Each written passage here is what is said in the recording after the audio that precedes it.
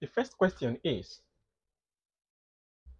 multiply 12 by 3 and express your answer in Roman numerals.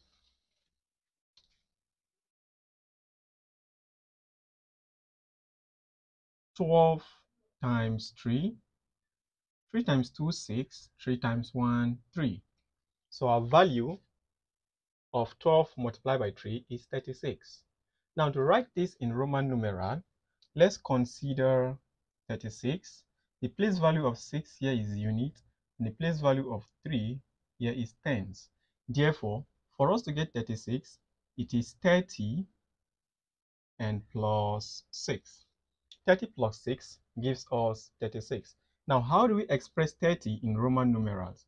30 in Roman numeral is x, x, x, and 6 in Roman numeral is vi. So when we join these two together, we get x, x, x.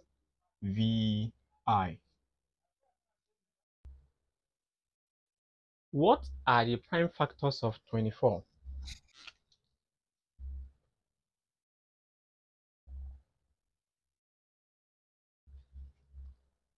Let's first of all answer this question by getting the factors of 24. The factors of 24 are 1, 2, 3, 4, 6, 8, 12, and 24.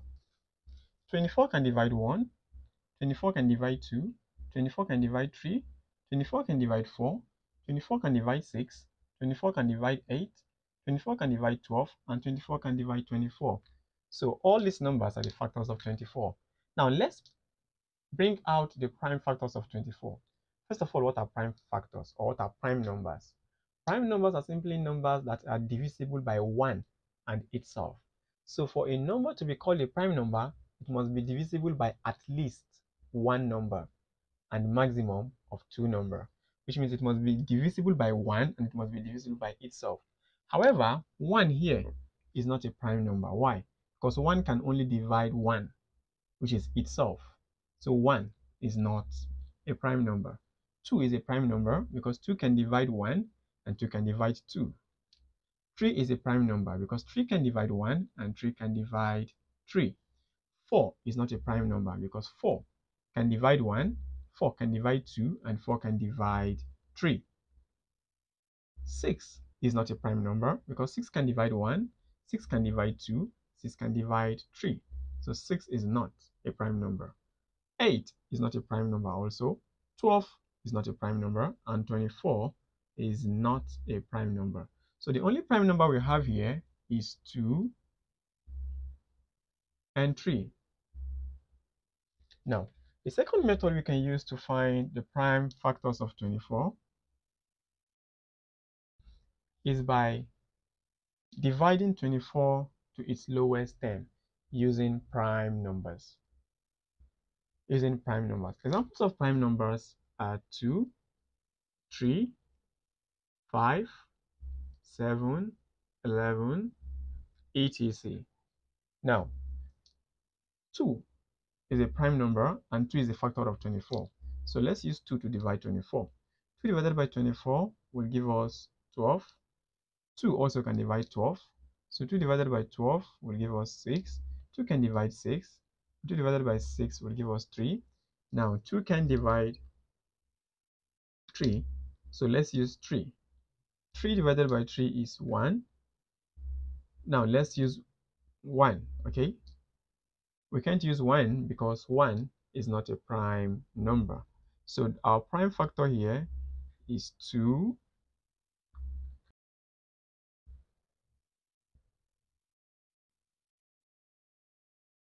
How many seconds are there in 60 minutes?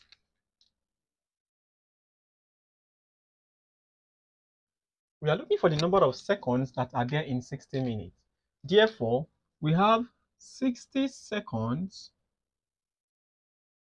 to give us one minute.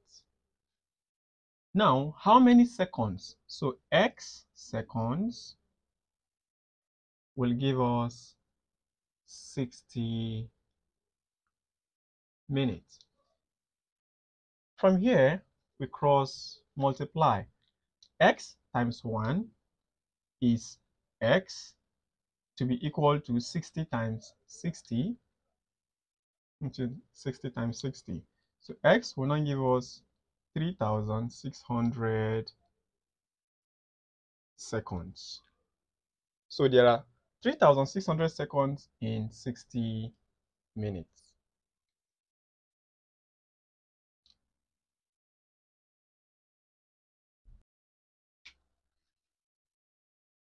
Express 0.6 as a fraction.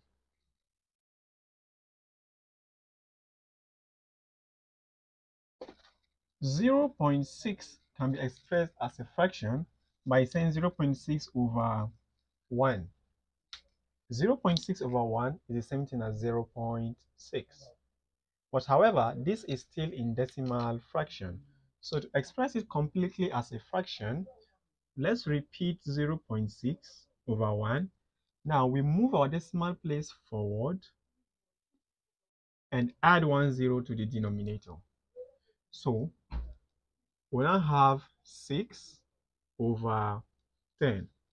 However, 6 over 10 can be simplified so that when 6 divides 2, we get 3 over, and when 10 divides 2, we get 3 over 5. So 0 0.6 as fraction is 6 over 10, and 6 over 10 can be simplified further to give us 3 over 5. Also, if we also have 0.59 as fraction. We can also express this as fraction by saying 0.59 over 1. Then we also say 0.59 over 1 again. Now we move our decimal place this time twice, 1, 2 so that we don't have a decimal point anymore before or in between the number then we add double zeros to the denominator. So that we'll have it as 59 over 100 this is how to change decimal numbers to fraction